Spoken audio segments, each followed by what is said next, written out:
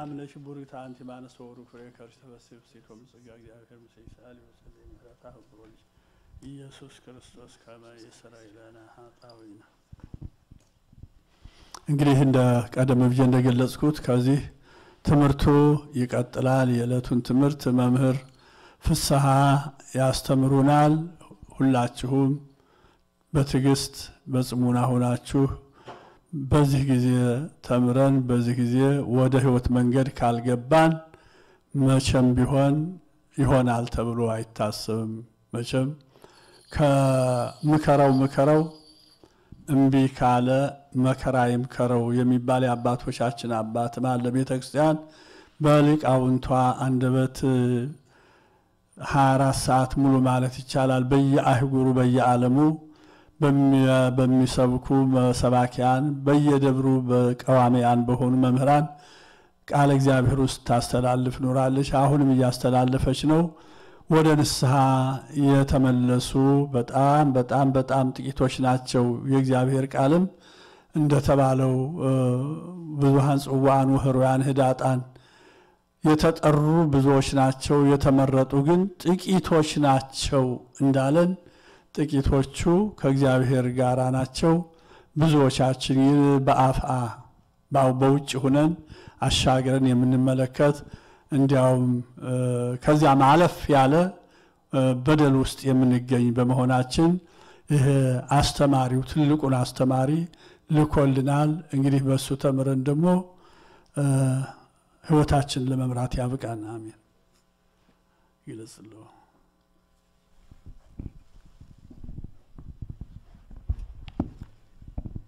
በስመ አብ ወወልድ ወመንፈስ ቅዱስ አህዱ አምላክ። የተከበራችሁ አባቶች ካህናት፣ ወንድሞች ዲያቆናት፣ እጅግ የተወደዳችሁ ምእመናን እንኳን ለእመቤታችን ለቅድስት ድንግል ማርያም በዓለ ልደት በሰላም አደረሳችሁ አደረሰን። አባታችን ትምህርት አስተምረውናል። ገና ከጸሎቱ በጸሎቱ ሰዓት አባቶች እኔ ለማሳረግ ጸሎት ለማሳረግ ከሚናገሩት ኃይለ ቃል ብዙ እማራለሁ እና ከዛ ጀምሮ ወደ መጨረሻውም ከቅዱስ ያሬድ ከሚያዜሙት ጠቅሰውልን ተፈጸመ ተስፋ አበው በማርያም ድንግል እመቤታችን ቅድስት ድንግል ማርያም የአባቶች ተስፋ ፍጻሜ ያገኘበት በእሷ ነው። እሷ ስትወለድ ከእሷ ጌታችን መድኃኒታችን ኢየሱስ ክርስቶስ ተወልዶ ዓለሙን አድኗልና የተስፋችን ፍጻሜ እንደሆነች ነግረውናል፣ አስተምረውናል። ትምህርቱም በስፋት በየጊዜው በተለያየ መንገድ ይሰጠናል። እንደው እኔ ለራሴ ለበረከት ያህል በዕለቷ ስታዘዝ ከመቤታችን ጣዕሟ ፍቅሯ እንዲያድርብኝ ለሁላችንም እንዲያድርብን ለምክንያት ነው እንጂ ምቆም እንደው ብዙ ከኔ የሚጠበቅ ብዙ ትምህርት አያስፈልግምም። በተለይ በአባቶች ላይ ለመጨመር ለእኛ ለልጆች እንደው በእነሱ ፊት እየተማርን እንድናድግ ለቤተ ክርስቲያን እንድንተካ ነው እንጂ አባቶች እስካሉ ድረስ በአባቶች የምንሰጠው ትምህርት በቂያችን ነው። የተነበበልን ወንጌል ከሉቃስ ወንጌል ነው። ምዕራፍ አንድ ከቁጥር 39 ጀምሮ እዚያ ላይ ካለ አንድ ኃይለ ቃል መውሰድ እፈልጋለሁ። ያው እንደሰማችሁት እመቤታችን ቅድስት ድንግል ማርያም ኤልሳቤጥን ለመጎብኘት በሄደች ጊዜ ኤልሳቤጥ ከተናገረችው ቃል አንድ ኃይለ ቃል እንዲህ ይላል። እነሆም አዎ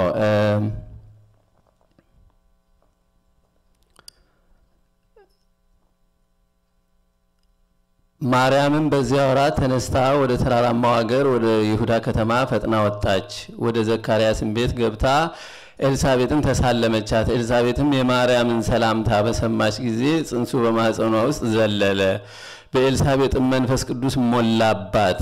በታላቅ ድምፅም ጮኻ እንዲህ አለች፣ አንቺ ከሴቶች መካከል የተባረክሽ ነሽ፣ የማኅፀንሽም ፍሬ የተባረከ ነው። የጌታዬ እናት ወደ እኔ ትመጣ ዘንድ እንዴት ይሆንልኛል? እነሆ የሰላምታች ድምፅ በጆሮዬ በመጣ ጊዜ ጽንሱ በማኅፀኔ በደስታ ዘሏልና፣ በጌታ የተነገረላት ቃል ይፈጸማልና ያመነች ብፅዕት ናት።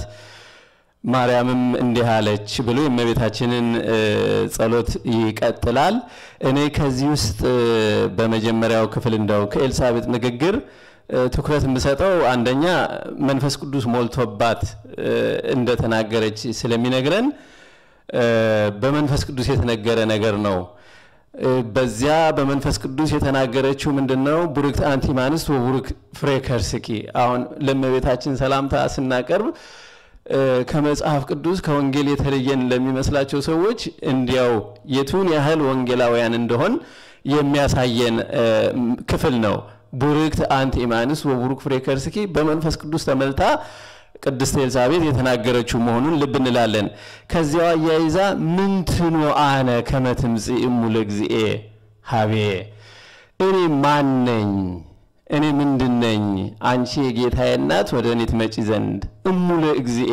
ከዚያ አያይዘው አባቶቻችን በማህሌቱ እግዝእቴ እብለኪ ወእሙ ለእግዚኤ እብለኪ፣ እመቤቴ እልሻለሁ፣ የጌታዬ እናት እልሻለሁ እያሉ በያሬዳዊ ዜማ ሲያመሰግኗት ይኖራሉ። እግዚእናው የእግዚአብሔር የፈጣሪያችን የእግዚአብሔር የፈጣሪያችን እግዚእናው በማናቸውም ፍጥረት ላይ በግድ ነው። እግዚአብሔር እግዚእ የሚሆነው እግዚአብሔር ስለሆነ ነው። እግዚአብሔር ጌታ ጌታ የምንለው የእግዚአብሔር ጌትነቱ ስለፈጠረን ፈጣሪያችን ስለሆነ በግድ ፈጣሪያችን ነው። ማንም አያመልጥም ከዛ ብንወድ ደግሞ አባታችንም ነው። ጌታችን መድኃኒታችን ኢየሱስ ክርስቶስ ከሰማይ ሰማያት ወርዶ ከእመቤታችን ከቅድስት ድንግል ማርያም ተወልዶ ስጋ ለብሶ ሰው ሲሆን እኛ ደግሞ በመንፈስ ቅዱስ ልደት ተወልደን ከእግዚአብሔር ተወልደን የእግዚአብሔር ልጆች እንድንባል የእግዚአብሔር ልጆች የምንባልበትን መንፈስ አድሎናል። ብንፈቅድ ብንወድ ከሱ ከመንፈስ ቅዱስ በመንፈሳዊ ልደት ከሱ ተወልደን የእግዚአብሔር ልጆች ልንሆን ተፈቅዶልናል። ባንወድ ይቀርብናል፣ ለእኛ ይቀርብናል። ለእሱ የሚጎልበት ነገር የለም። አምነነው በእሱ አምነን በጌታችን በመድኃኒታችን በኢየሱስ ክርስቶስ አምነን በፈጣሪያችን አምነን እሱን አባታችን አድርገን በመንፈስ ቅዱስ ልደት ተወልደን የእሱ ልጆች ብንሆን አባታችን ነው፣ በውድ አባታችን ይሆናል። ጌትነቱ ግን ፈጣሪያችን መሆኑ ግን ፈጣሪያችን ስለሆነ መቼም ልንፍቀው የማንችለው ነው። እግዚአብሔር ፈጣሪያችን እንዳይሆን እግዚአብሔር ፈጣሪው እንዳይሆን የሚሻ ሰው ቢኖር አለመፈጠር ነበረበት፣ ግን ተፈጥሯል። ምንም ማድረግ አይችልም። ስለዚህ እግዚአብሔር ጌትነቱ በግድ ነው። የእመቤታችንም እመቤትነቷ በግድ ነው። እሱን ጌታዬ ካልን የጌታችን እናት የጌታችን እናት ምናችን ነው ልትሆን የምትችለው? እመቤታችን ነው ልትሆን የምትችለው። አዎ በውድ ደግሞ እናታችን። አሁን ቅድም በጸሎቱ ሁሉም ማር ነበር እናታችን የጌታችን እናት እያሉ ነበር አባታችን የሚጸልዩት። በውድ ማርያም ምንን አስተበቋኪ ልንላት እንችላለን። ላይል የሚፈልግ ሰው ካለ አለማለት ይችላል። ማርያም ምን እናታችን ማርያም ማርያም ምን ወሙሉ እግዚእነ የጌታችን እናት የእኛ እናት ናት ማለት ይጠቅመናል፣ አለማለት እንችላለን። እግዚእትናዋን ግን እመቤትነቷን ግን እሱ ጌታ ስለሆነ በግድ እሷም እመቤት ናት። ለዚህ ነው በጣም ይጥመኛል። በያሬዳዊ ዜማ አባቶች እግዝእቴ እብለኪ ወእሙ ለእግዚእ እብለኪ ሲሏት በጣም ነው በጣም ነው ከውስጥ አጥንቴን ዘልቆ የሚገባው እና እመቤታችን አሁን ልደት ስናከብር የእሷን ልደት ስናከብር በእሷ ምክንያት እረፍቷ ቢሆን ቃል ኪዳኗ ቢሆን በማናቸው ምክንያት የምናከብረው እመቤታችን እናታችን ስለሆነች ነው።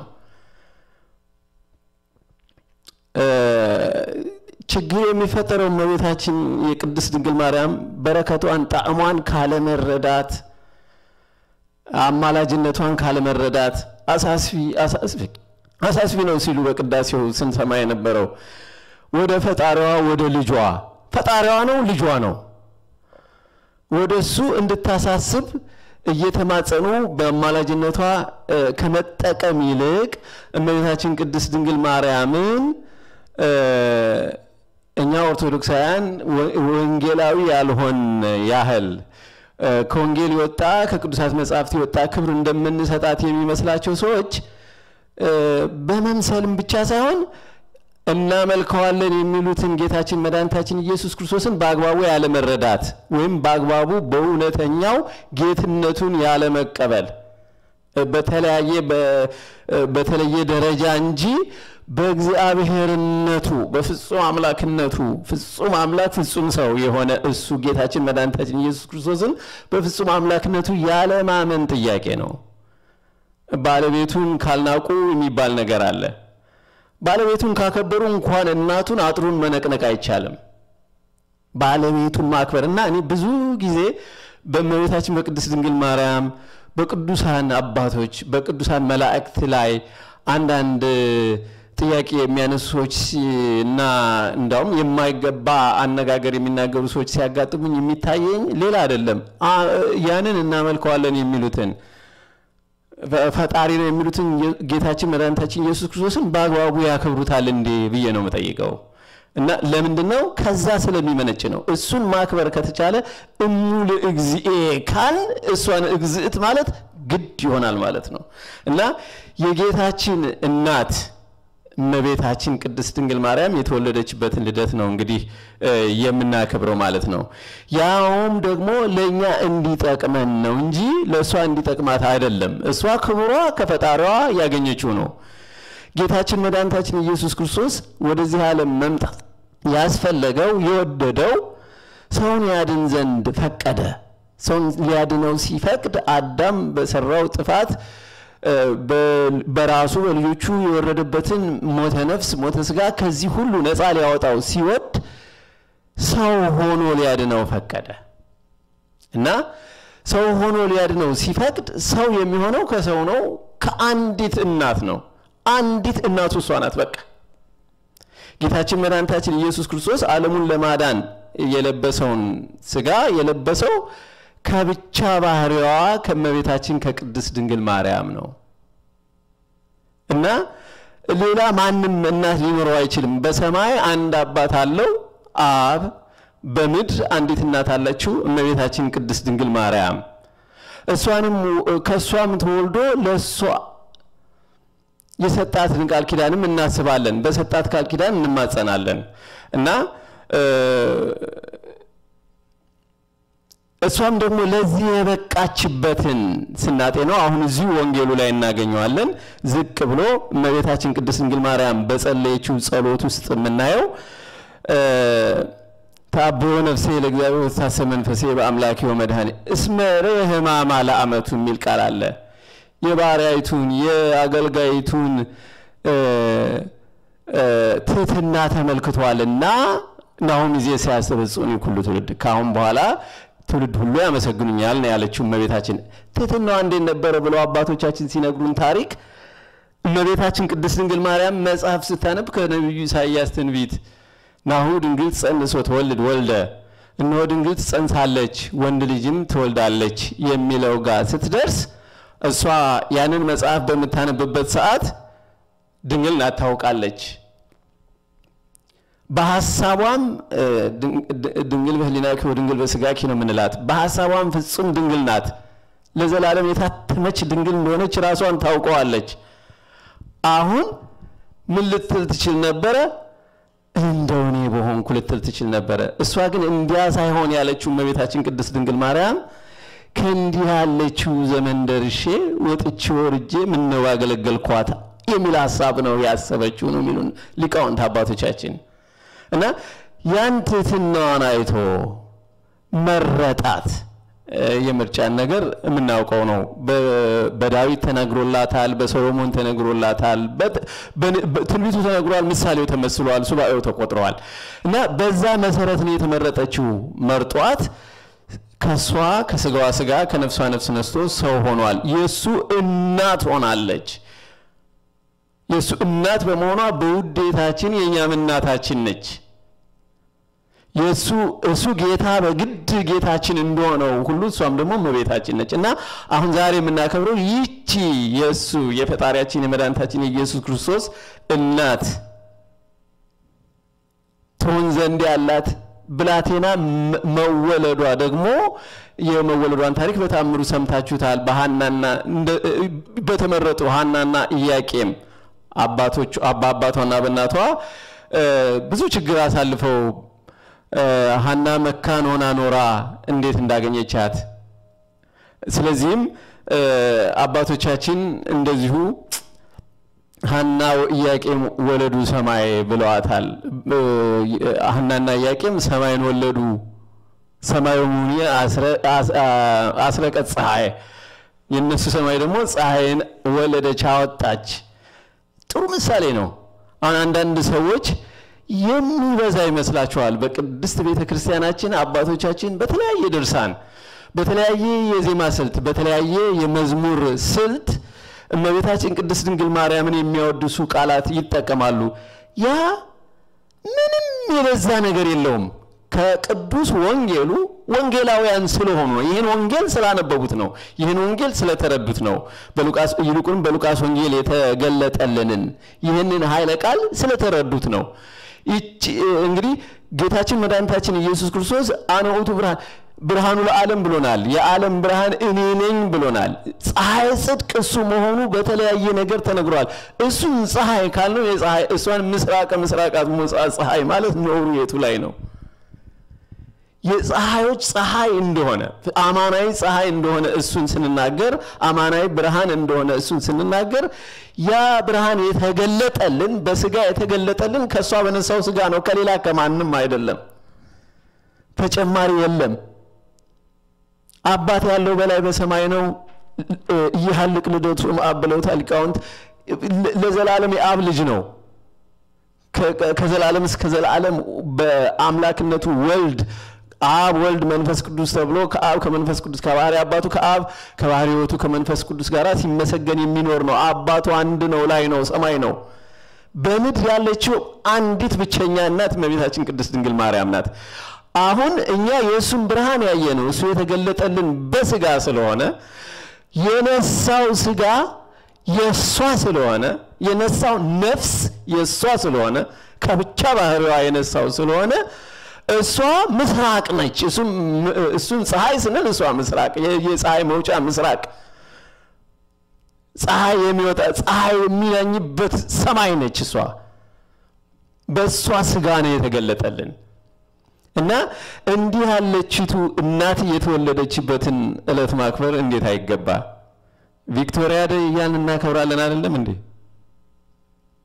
ምን እንደሰሩ ታሪካቸውን ብንዘረዝረው ያው የሚደፈነው እየተደፈነ የጎላው እየተነገረ በጎ በጎ እንኳን እየተነገረ በጎ በጎ እንኳን ተደምሮ የእመቤታችንን የሩብሩ ለውድድር የማይበቃ ስራ የሰሩ ሰዎችን በዓል እያደረግን ሱቃችንን እየዘጋን ስራችን ከስራችን እየቀረን እናከብራለን እኮ። እና የእመቤታችን የቅድስት ድንግል ማርያምን ልደትማ ፀሐይ ጽድቅ ኢየሱስ ክርስቶስን ያስገኘችን እመቤታችን ቅድስት ድንግል ማርያምን ልደትማ እንዴት አብዝተን አናከብረው? አከባበሩን አልናገርም። እዚህ ሁላችሁ ታውቁታላችሁ፣ በየቤታችሁ እንደምታከብሩት ማለት ነው። ከታሪካዊ አኳኋኑ ጋር የተነጻጸረ በሀገራችን እጅግ ደስ በሚል እንኳን አይደለም በግንቦት አንድ በተወለደችበት በዓመታዊ በዓሏ በየወሩ በየወሩ የእመቤታችንን ልደት ታሪኳን በሚያስታውስ ሁኔታ እናከብረዋለን። እንዲያ በነበረበት ሰዓት ሰላም ነበረን። እንደው በእውነቱ አባቶቻችን እናቶቻችን እኛም እንኳን ልጆቹ እንደው አሁን አዲሱ ትውልድ እንኳን ደርሰን በልጅነት አይተነዋል። ጣዕም ነበረው፣ ማዕረግ ነበረው። በቤተ ክርስቲያን የሚፈጸመው አገልግሎት በቤታችን በወላጆቻችን አካባቢ የምናየው አገልግሎት የምናየው ፍቅር ለእመቤታችን ያለ የወላጆቻችን ፍቅር ለፈጣሪያቸው ያለ አክብሮት፣ መታዘዝ፣ እርስ በርስ ያለ ያ ሁሉ ትንሽ እየተሸረሸረ እየተሸረሸረ እየተሸረሸረ ሲመጣ ይኸው አሁን ያለንበት ደረጃ ደርሰናል። በተለያየ መልኩ በፈተና ተወጥረን ያለ ነው እና እንዲህ በፈተና በምንወጠርበት ጊዜ ደግሞ ምንም ቢሆን እሱ አምላካችንም ትቶ አይተወንም። ቸር አምላካችን ነው። እሷም ርኅሪት እናታችን ስለሆነች ወደ እሷ ማንጋጠጥ፣ ወደ እሷ መለመን። እመቤታችን ቅድስት ድንግል ማርያም ሆይ አኮ ለጻድቃን አላ ለሀጣን ነው አይደለም? በቅዳሴው የምንሰማው አኮ ለንጹሐን አላ ለርሱሐን ለጻድቃን ያይደለ ለሀጣን አሳስቢ ለንጹሐን ያይደለ ለተዳደፉት አሳስቢ ነው አባቶቻችን እያሉ በቅዳሴው እመቤታችን ሲማጸኗት የነበረና እኛ አቅማችንን አውቀን ኃጢአተኞች መሆናችንን ተረድተን ግን በኃጢአት ታይዘን እንዳንቀር በኃጢአት እንደተያዝን የዚህን ዓለም እንኳን ብንተወው እንደዚሁ በኃጢአት እንደተሸፈን ወደ ወዲያኛው ዓለም ሄደን ከመንግስቱ ተስፋ የሌለን እንዳንሆን አሳስቢልን ብለን ተማጽነን ወደ ጽድቅ መመለስ ይገባናል ለዛ እመቤታችን ቅድስት ድንግል ማርያም ትርዳን። የቅዱሳን ጉዞ በዚህ ዓለም የአባቶቻችን አካሄድ እንደው የከበሩትን እያወረዱ በመጣል አይደለም። እንደ ዛሬው ትውልድ እራሳቸው ደረጃቸውን አውቀው የከበሩ ከነሱ የከበሩትን በመማፀን እነሱም ለክብር ይበቃሉ። ክብር መቼም አለ። ማሰብ ያለብን አንዳንድ ጊዜ የእኩልነት አስተሳሰብ ይሄ በዘመናዊ ዓለም ኤጋሊቲ የሚባል ነገር አለ። እኩልነት የሚባል ነገር ጥሩ ነው፣ አግባብም ነው። በባህሪያችን እኩል ነን። ባህሪ ሰብ የአንዱ ከፍ የአንዱ ዝቅ ያለ የለውም። እያንዳንዱ ግለሰብ ሰው እንደመሆኑ በባህሪው እኩል ነው። በስራው ግን ይለያያል። በስራው እንደው ምን ብንደፍጥጥህ ብንለው አይሆንም። የሚተጉ ሰዎች የሚያገኙትን የሚያንቀላፉ ሰዎች አያገኙትም።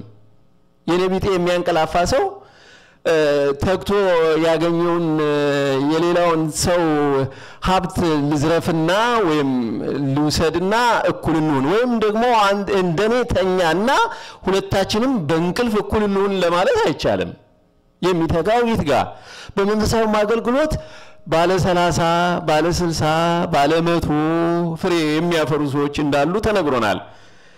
ያንን ተከትለን እንደምንም ብለን ሰላሳዋ ላይ እንኳን ሰላሳዋን እንኳን አፍርተን ለመገኘትና ተስፋ መንግስተ ሰማያትን ለመውረስ መጣጣር ነው እንጂ ወይም ያንን ካፈሩ ሰዎች ባፈሩ ሰዎች አማላጅነት ተማጽነን የመንግስቱ ተሳታፊ ለመሆን መጣጣር ነው እንጂ የእነሱን ፍሬ አራግፈን እንደኛ ባዶ በማድረግ እኩል እናርጋቸው ማለት አይቻልም። የአሁኑ ትውልድ የተያዘው የቅዱሳንን የቀደሙ አባቶችን ክብር በማዋረድ ራሱ ጋር ራሱ ወራዳ ራሱ ጋር ለማስተካከል ብቻ ጥረት የሚያደርግ ትውልድ በዝቷል። ይሄ አይጠቅመንም። ከእመቤታችን ጀምሮ እመቤታችን ፍጡራን ምትሕተ ፈጣሪ ተብላ የከበረች ናት። ያንን እኛ አንቀማትም። ለጌታ የሚነገር ቃል አለ። በጳውሎስ መልእክት ምዕራፍና ቁጥሩን ትንሽ ልዘነጋ እችላለሁ።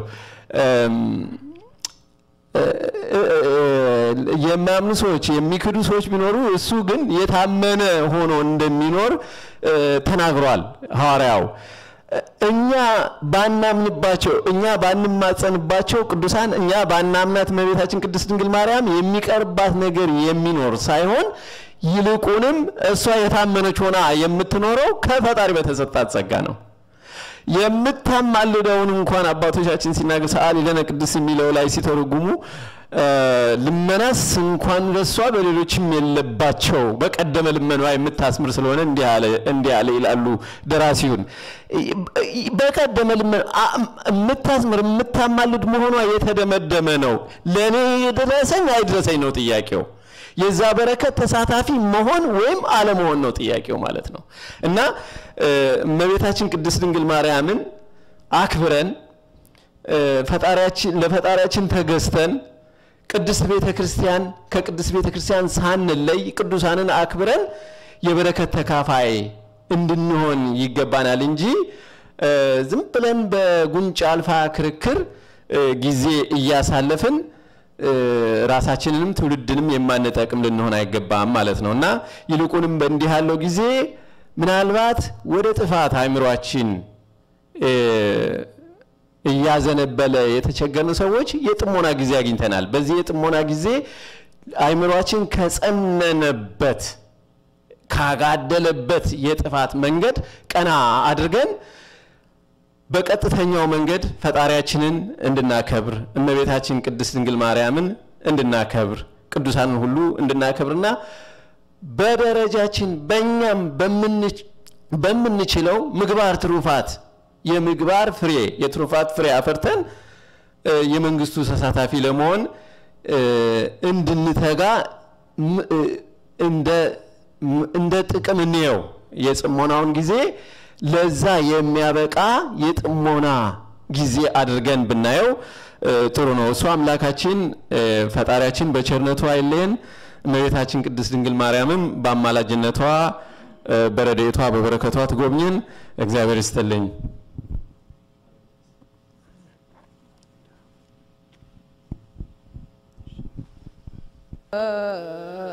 ክርስቶስ ተንሥአ እሙታን አሰሮ ለሰይጣን ሰላም ኮነ።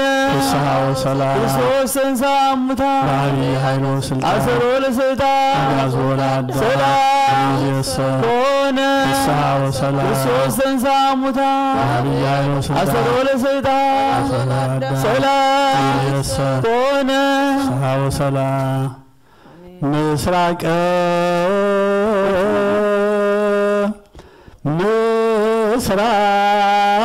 ምስራቃ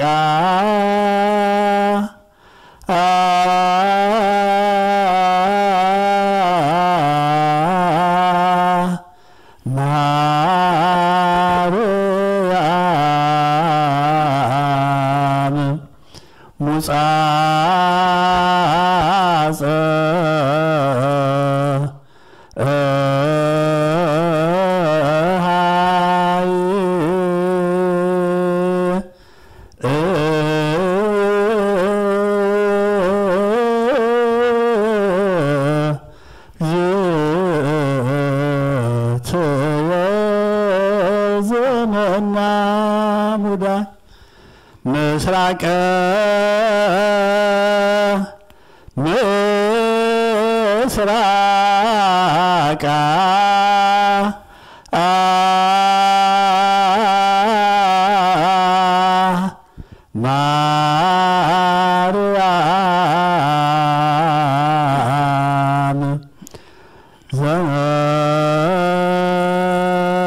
ዘመና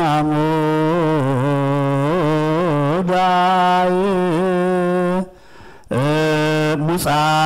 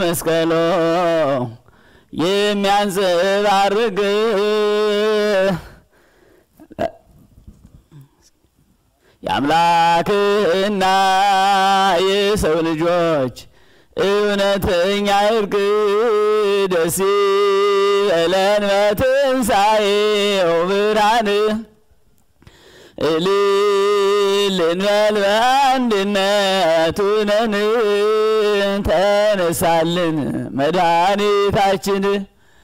ብርሃን ወጣ ከመስቀሎ የሚያንጸባርቅ አምላክና የሰው ልጆች እውነተኛ እርቅ ደስ በለን በትንሣኤው ብርሃን እልል እንበል በአንድነት ሁነን ተነሳልን መድኃኒታችን ከፊት ለፊት በመሳሉ የመስቀሉ ነገር ለሚወደው ሐዋርያ የወንጌል መምህር ዮሐንስም ስቅለቱን በማየቱ አለቀሰ እስከ ዕለተ ሞቱ ቢያሰቅቀው ሞቱ ግርፋቱ ብርሃን ወጣ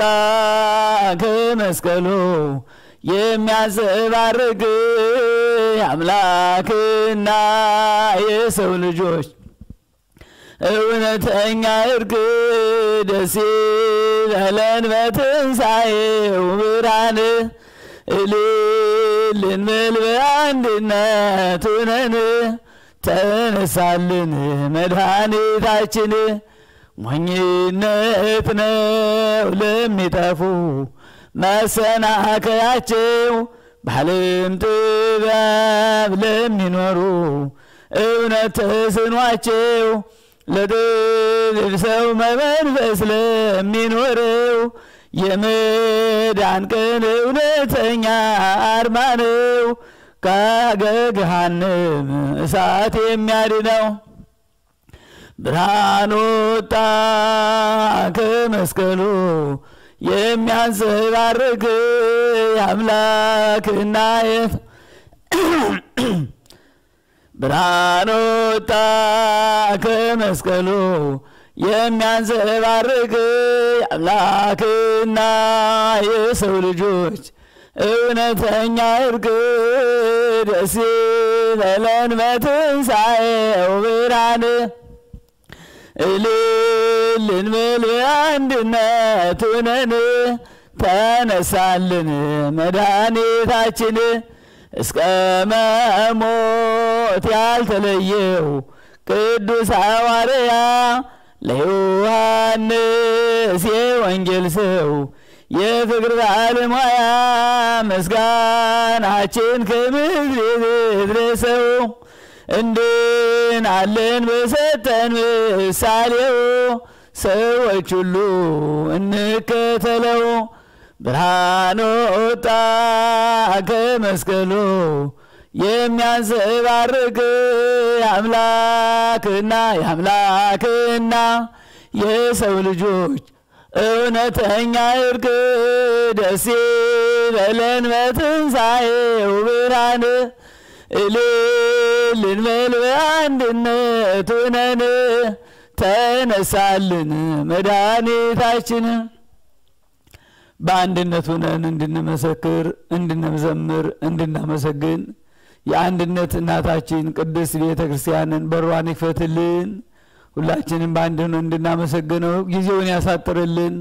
በጥሩ ሁኔታ እግዚአብሔር አምላክ ከደዌ ሁሉ ሸፍኖ ያሻግረን። የሳምንት ሰው ይበለን